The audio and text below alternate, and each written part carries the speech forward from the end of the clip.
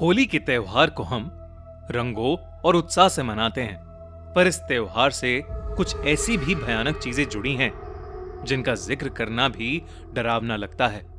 ये कहानी प्रीति की है। प्रीति अपनी लाइफ के एक बहुत ही अनोखे पड़ाव पर थी। अगले दो महीने में वो एक बच्चे को जन्म देने वाली थी। प्रीति और उसका हस्बैंड शोभित गुड़गांव के एक फ्लैट में अकेले रहते थे।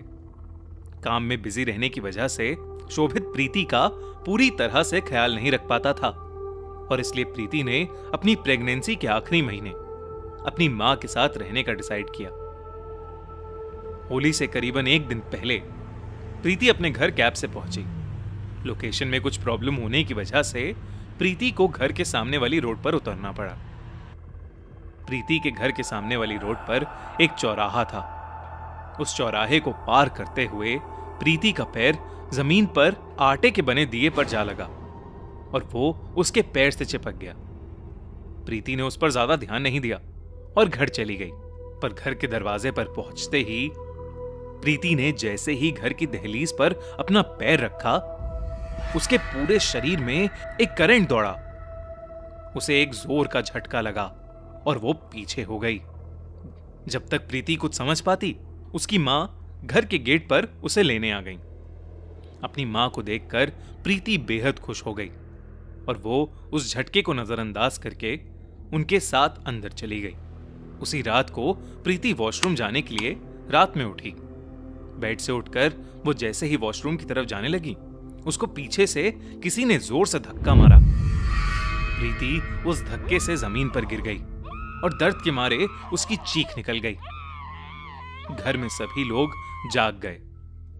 प्रीति ने जब यह बताया कि उसे किसी ने पीछे से धक्का मारा था तो घर के सभी लोग चौक उठे। तभी प्रीति के पापा ने उसकी बात को टालते हुए कहा कि शायद अंधेरे में प्रीति ज़मीन पर पड़ी किसी चीज़ से टकरा गई होगी। सबने इस बात को मान लिया और सब लोग सोने चले गए। अगली सुबह होली का त्योहार था। हर जगह रंग और उत्साह था।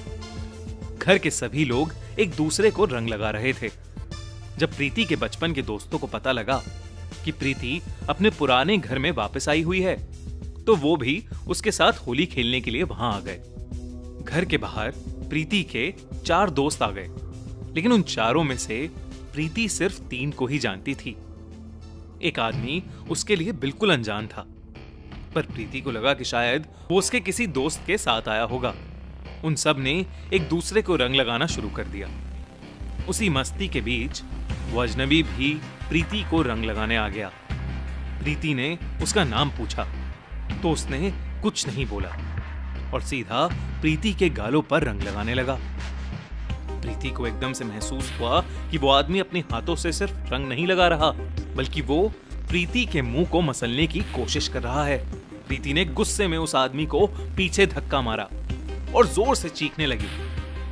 उसके चेहरे पर बहुत तेज दर्द हो रहा था। सब लोग उसके पास इकट्ठा हो गए। प्रीति गुस्से में अपने दोस्तों से कहने लगी कि उनके साथ जो आदमी आया है, उसने प्रीति के साथ बदसलूकी की है। ये सुनकर सब दंग रह गए।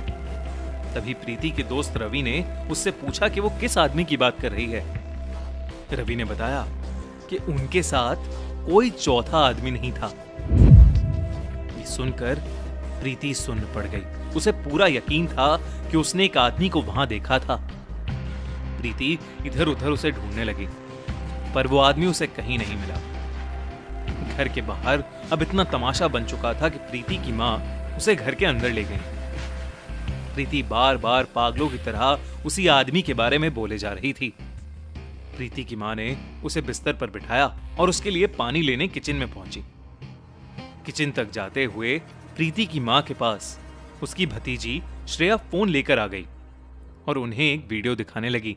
वीडियो में जो उन्होंने देखा, उससे उनके होश उड़ गए। वो वीडियो बाहर हो रही होली सेलिब्रेशंस की थी और उस वीडियो में साफ़ साफ़ दिख रहा था कि प्रीति अकेली खड़ी हुई है और उसके गालों पर खुद से रंग लग रहा है। ये देखते ही प्रीति की माँ भागती हुई प्रीति के कमरे में पहुँची तो उन्होंने देखा कि प्रीति का शरीर बिस्तर के ऊपर हवा में तैर रहा है। ये देखकर प्रीति की माँ बेहद घबरा उठी। वो समझ गई कि ज़रूर प्रीति के ऊपर कोई काला साया आ गया है। उन्होंने तुरंत शहर के एक जाने माने तांत्रिक को बुलवाया। जब वो तांत्रिक वहाँ पहुँचा तो प्रीति उसे देखकर गुस्से से चिल्ला उठी। प्रीति ने उसका गला पकड़ लिया और किसी अजीब भाषा में कुछ बड़बड़ाने लगी। तांत्रिक ने उसके ऊपर कुछ पाउडर जैसा फेंका, जिससे वो थोड़ी शांत हो गई। उसने तांत्रिक का गला छोड़ दिया। सब घर वालों ने उसे बेड से बाँध दिया और फिर उस तांत्रिक ने अपनी झाड़ फूक शुरू कर दी। जैसे जैसे तांत्रिक झाड़ फूक कर रहा था वैसे वैसे प्रीति दर्द में चिल्ला रही थी। तांत्रिक ने प्रीति की कुर्ती से थोड़ा सा कपड़ा फाड़ा और उसे जला दिया। अब जैसे जैसे वो कपड़ा जल रहा था, उसमें से नीला धुआँ निकलने लगा। और प्रीति के चीखने की आवाज़ें और तेज हो गई। प्रीति के सहमे से खड़े प्रीति को दर्द में देख रहे थे। जैसे ही वो कपड़ा पूरा जलकर राख हुआ प्रीति की चीखें भी बंद हो गईं और वो बेहोश सी पड़ गई। जब प्रीति होश में आई तो तांत्रिक ने बताया कि प्रीति पर किसी ने काला जादू किया था। उन्होंने बताया कि होली के समय पूरे साल की सबसे शक्तिशाली पूर्णिमा की रात होती है। और इस समय में बच्चों और प्रेग्नेंट औरतों को सबसे ज़्यादा खतरा होता है। ज़्यादातर लोग चौराहे पर काला जादू करके सामान रख देते हैं, ताकि जब भी किसी का पैर उस सामान पर पड़े, काली आत्माएँ उन पर चढ़ जाएँ और उन्हीं काली आत्माओं के ज़रिए वो अपने अधूरे काम करवा पाए। प्रीति और उसके बच्चे की तो जान बच गई। पर प्रीति के दिमाग से ये खौफनाक किस्सा शायद ही कभी मिट पाए। इसलिए दोस्तों, त्योहारों के समय चलते वक्त पैर कहाँ पड़ रहा है, इसका ध्यान ज़रूर रखना। इंडिया में होली एक खुशियों का त्यौहार है, जहाँ सब लोग अपने दोस्तों और रिश्तेदारों को रंग लगाकर एक दूसरे की खुशियाँ सेलिब्रेट करते हैं। लेकिन इंडिया में एक ऐसी जगह है जहाँ पिछले सौ सालों से लोगों ने होली नहीं मनाई है। ये कहानी झारखंड में बसे दुर्गापुर गाँव की है। कहते हैं, सौ साल पहले यहाँ दुर्गा प्रसाद नाम का एक राजा शासन करता था। राजा को होली का त्योहार बहुत पसंद था, पर एक रोज होली के दिन उनके बेटे की मौत हो गई। तब से वो राजा पागल हो गया और पूरे गाँव भर में होली मनाने पर रोक लगा दी। कुछ ही सालों बाद उस राजा ने होली के दिन ही खुद को मार डाला और इस गाँव की परिस्थितियाँ और बिगड़ गईं। उस साल सूखा पड़ गया और कई लोग भूखमरी से मर गए। तब से गाँव के लोग होली का दिन उस गाँव के लिए अशुभ मानते हैं और कभी होली नहीं मनाते। और तो और ये भी कहा जाता है कि उस गाँव में आज तक उस राजा का भूत भटकता है, जो होली के दिन लोगों को बहुत सताता है। गाँव के लोग इस डर से सहमे हुए रहते हैं कि अगर उन्होंने राजा का कहा नहीं माना तो उनका भूत आके उन लोगों की ज़िंदगी नरक बना देगा। कई साल पहले, जब एक आदमी, जो गाँव में नया नया आया था, उसने गाँव वालों की बात नहीं सुनी और होली मनाने निकल पड़ा। जिसके बाद वो उस गाँव में कभी नहीं दिखा। कहते हैं, उस राजा के भूत ने उसे खाई में धक्का देकर मार डाला। उसके बाद से उस गाँव में होली ना मनाए जाने की परंपरा बन गई है, जो आज तक चलती आ रही है। आज भी होली आते ही इस गाँव में सन्नाटा छा जाता है, जैसे किसी का मातम हो। अर्नव ऋषि और आकाश बहुत अच्छे दोस्त थे। तीनों सेम कॉलेज में पढ़ते थे और कॉलेज से उन्होंने एक ट्रिप प्लान की थी, होली के चलते। उन्हें कॉलेज से एक हफ़्ते की छुट्टी मिली थी। तो ऋषि ने आगरा जाकर होली मनाने का आइडिया दिया। तीनों ही उस आइडिया को लेकर बहुत एक्साइटेड हो गए और होली मनाने के लिए आगरा के लिए निकल गए। आगरा में अक्सर होली का त्यौहार बहुत ही जोरों शोरों से मनाया जाता है। होली का त्यौहार एक पूरे जलसे की तरह होता है। अर्नव ऋषि और आकाश होली से एक दिन पहले आगरा पहुँचे और अगली ही सुबह सफ़ेद कुर्ता पहनकर होली सेलिब्रेट करने आगरा की गलियों में निकल गए। तीनों ने पूरा दिन बहुत एंजॉय किया। होली खेलते खेलते उन्होंने ठंडाई समझकर काफ़ी सारी भाँग पी ली। पूरा दिन रंगों से खेलने के बाद अब सूरज ढलने लगा था और तीनों ही बहुत बुरी तरह थक चुके थे। अर्नव, ऋषि और आकाश अब अपने होटल की तरफ़ वापस जाने लगे थे। पर कहीं ना कहीं वो तीनों ही भाँग के नशे में थे, जिसकी वजह से वो वापस जाने का रास्ता भटक गए थे। अर्नव के कहने पर उन्होंने चलते हुए एक नया रास्ता ले लिया पर उनमें से कोई नहीं जानता था कि उनकी ये गलती उन्हें कितनी भारी पड़ने वाली है।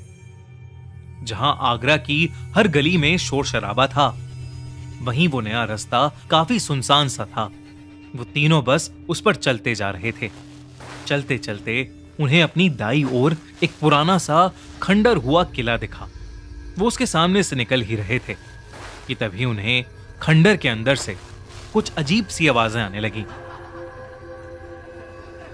ऋषि ने ध्यान से सुना तो वह शोर असल में लोगों के हंसने खेलने का था। उस खंडर से ऐसी आवाज़ें सुनकर उन तीनों को काफ़ी अजीब तो लगा, पर वो तीनों ही देखना चाहते थे कि आखिर अंदर क्या हो रहा था। वो तीनों उस खंडर की दीवार के पास जाकर खड़े हो गए। वो दीवार एक जगह से थोड़ी सी टूटी हुई थी, और अर्णव ने वहाँ से अंदर देखा तो उसके होश ही उड़ गए। उस खंडर के अंदर पचास से भी ज़्यादा लोग आपस में होली खेल रहे थे। किसी को भी अपनी आँखों पर विश्वास ही नहीं हो रहा था। आखिर एक खंडर में सूरज ढलने के बाद इतने लोग होली क्यों खेल रहे थे? पर इससे पहले कोई कुछ समझ पाता। आकाश उसी टूटी हुई दीवार से अंदर घुस गया और नाचते हुए उन लोगों के पास चला गया और सबके साथ नाचने लगा। उसके पीछे पीछे अर्णव और ऋषि भी अंदर चले गए। दोस्तों, उन सबके नाचते नाचते उस खंडर के अंदर अचानक से अंधेरा छाने लगा जैसे एकदम से रात हो गई हो। वहीं ऋषि का पैर नाचते हुए फिसल गया और वो एक औरत से टकरा गया।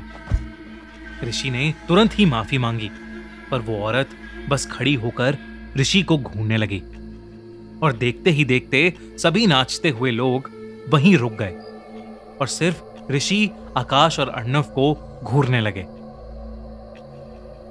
उस खंडर का माहौल अब बहुत भयानक सा हो गया था। इससे पहले कि उन तीनों में से कोई कुछ कर पाता उस औरत का चेहरा बदलने लगा, बल्कि वहाँ खड़े सभी लोगों का चेहरा बदलने लगा और नीला पड़ने लगा। तभी ऋषि के सामने खड़ी उस औरत की आँखें सफ़ेद हो गईं। ये सब देखकर उन तीनों दोस्तों की रूह काँप गई।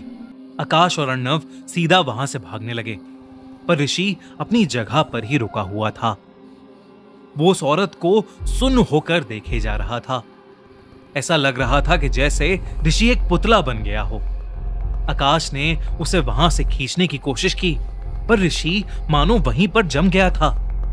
आकाश ने उसे और ज़ोर से खींचा, और जो उसने देखा, उसे देख उसका दिल दहल गया। ऋषि की आँखें भी सफ़ेद पड़ने लगी थीं। ये देखते ही आकाश ने ऋषि का हाथ छोड़ा, और वहाँ से भागने लगा। आकाश और अर्णव दोनों को कुछ भी समझ नहीं आ रहा था। वो जहाँ भी नज़र डाल रहे थे, वहाँ वो नीले पड़े लोग उन्हें भयानक सफ़ेद आँखों से देख रहे थे। वो बस कुछ भी करके उस खंडर से बाहर निकलना चाहते थे। ऋषि अब भी वहीं एक पुतले की तरह खड़ा था। अर्नब ने देखा कि जिस दीवार से वो अंदर आए थे, वहीं बाहर जाने का एक लौता रास्ता था तो वो उसकी तरफ़ जाने का रास्ता ढूँढने लगा। तभी कुछ ऐसा हुआ, जिससे अर्नब और आकाश की साँसें जम सी गईं। वहाँ पर खड़े सभी लोगों की हड्डियाँ चटकने लगीं और वो धीरे धीरे अर्नब और आकाश की तरफ़ बढ़ने लगे उन दोनों की जान सूख चुकी थी उन्हें लगने लगा था कि उनके साथ कुछ बहुत ही बुरा होने वाला था, पर तभी अर्नब और आकाश ने मिलकर ऋषि को वहाँ से खींचा और उसे अपने कंधे पर उठाकर वो दोनों उसी दीवार की तरफ़ भागने लगे जहाँ से वो तीनों अंदर आए थे। बिना कुछ सोचे, वो बस उस दीवार की तरफ़ भागते गए और उस किले से बाहर कूद गए। किले से बाहर निकलते ही ऋषि की आँखें पहले जैसी नॉर्मल हो गईं और वो वहीं पर बेहोश हो गया। इससे पहले कि वो कुछ समझ पाते, उस खंडर से आग की लपटें निकलने लगी और उस किले के अंदर मौजूद सभी लोग आग में जलने लगे। वो भयानक नज़ारा अर्नव और आकाश से देखा भी नहीं जा रहा था।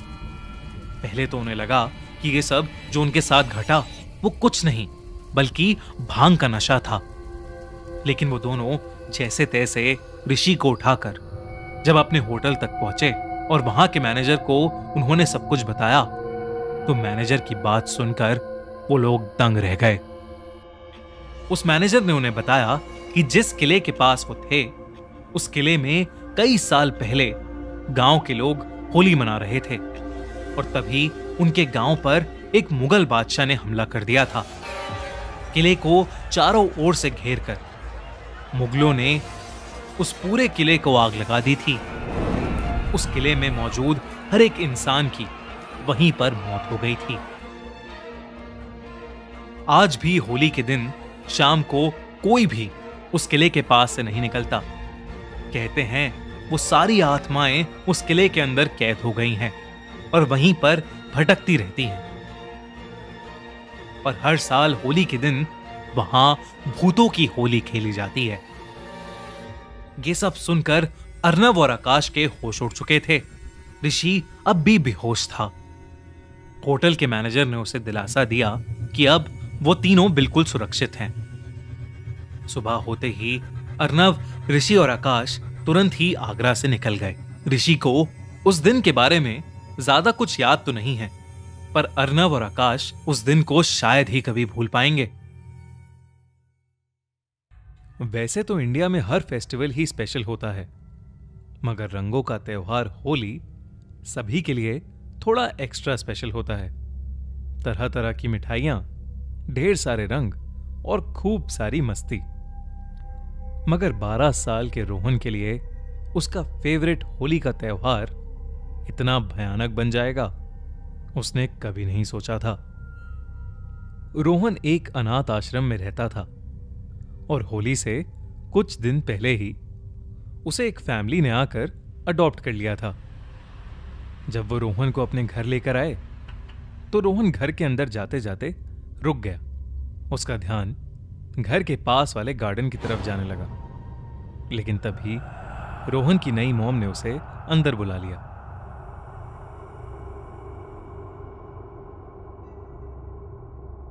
वो फैमिली रोहन का बहुत अच्छे से ध्यान रखने लगी। सभी उसे बहुत प्यार करते थे, मगर सबसे ज़्यादा रोहन को उसकी दादी प्यार करती थी। मगर उस घर में एक अजीब सी बात थी। रोहन पूरे घर में फ्री होकर घूम सकता था, पर उसे सेकंड फ्लोर पर जाने की परमिशन नहीं थी। रोहन अक्सर सेकंड फ्लोर की तरफ़ ही देखता रहता। लेकिन जब भी वो ऊपर आने की कोशिश करता, उसकी दादी उसे आकर रोक लेती। होली से एक रात पहले, जब रोहन अपने कमरे में जा रहा था, तब वो अचानक ही स्टेयरकेस के पास रुका और सेकंड फ्लोर की तरफ़ देखने लगा। घर में सब सो चुके थे और इसलिए वो चुपके से सेकंड फ्लोर पर चला गया। उस फ्लोर पर एक कमरा था, जिसके दरवाजे पर एक लाल रंग का ताला लगा हुआ था। रोहन ने जैसे ही उस ताले को तोड़ने की कोशिश की, तभी उस दरवाजे पर किसी ने अंदर से नॉक किया। उसके बाद जो उसने देखा, उसके होश उड़ गए। उसके पास में एक बच्चा खड़ा था। उस बच्चे का नीला रंग था और आँखें पूरी तरह सफ़ेद थीं। वो रोहन को देखकर ज़ोर से चिल्लाया। और रोहन के अंदर घुस गया। रोहन वहीं बुरी तरह तड़पने लगा और उसे अजीब से दौरे पड़ने लगे और तभी उसकी आवाज़ सुनकर उसके मम्मी पापा ऊपर आ गए। उन्होंने उसे उठाकर उसके कमरे में सुला दिया। अगली सुबह होली थी, मगर रोहन का शरीर बुरी तरह बुखार में तप रहा था। रोहन की दादी काढ़ा बनाकर जैसे ही उसके कमरे में गई, वैसे ही रोहन नींद से उठ गया और उन्हें देखकर ज़ोर से चिल्लाने लगा। उसका मुँह उस लड़के की तरह नीला पड़ने लगा और उसकी आँखें सफ़ेद हो गईं। तभी उसकी दादी डर कर सेकेंड फ्लोर की तरफ़ भागी और वो देखकर हैरान हो गई कि ऊपर वाले कमरे का दरवाज़ा खुला हुआ है। रोहन भी अजीब सी आवाज़ें निकालते हुए दादी के पीछे पीछे ऊपर चला गया। रोहन की आवाज़ें सुनकर उसके मॉम और डैड ऊपर आए। पर जो उन्होंने देखा, वो देखकर वो सुन पड़ गए। रोहन ज़मीन पर गिरा पड़ा था और उसे दौरे पड़ रहे थे और रोहन के बगल में रोहन की दादी मरी पड़ी थी। रोहन के मॉम डैड को कुछ समझ नहीं आया कि सेकंड फ्लोर पर आखिर क्या हुआ है। जब कुछ देर बाद रोहन अपने सेंसेस में वापस आया, उसने सबको बताया कि उसे उनके घर में एक बच्चे की आत्मा दिखती थी। सबसे पहले दिन जब वो घर आया था तो वो उसे गार्डन में दिखा और फिर अक्सर सेकंड फ्लोर पर दिखता था। वो बच्चा बार बार रोहन को ऊपर खेलने के लिए बुलाता था। कल रात भी वो उससे बात करने के लिए उसके शरीर में घुसा और उसने बताया कि उसकी दादी शैतान की पूजा करती थी और उन्होंने उसको होली के दिन मार डाला था और वो अब रोहन के ज़रिए अपना बदला लेने आया है। ये सब सुनकर रोहन के मम्मी पापा शॉक्ड थे, क्योंकि वो बच्चा जिसकी रोहन बात कर रहा था, वो और कोई नहीं, बल्कि रोहन के मम्मी पापा का पहला बेटा था। जो अचानक पाँच साल पहले होली के दिन गायब हो गया था। उन्होंने उस दिन के बाद अपने घर में अपने पहले बेटे की आत्मा की शांति के लिए हवन कराया और फिर वो रोहन को लेकर हमेशा हमेशा के लिए उस घर से कहीं दूर चले गए। मगर आज तक रोहन उस भयानक होली को भूल नहीं पाया है। एंड सभी को हमारी तरफ़ से अ वेरी हैप्पी होली। हमारा चैनल खूनी मंडे ज़रूर सब्सक्राइब कर लेना। और वीडियो पसंद आई तो वीडियो को लाइक भी कर देना। मिलते हैं अगले हफ़्ते।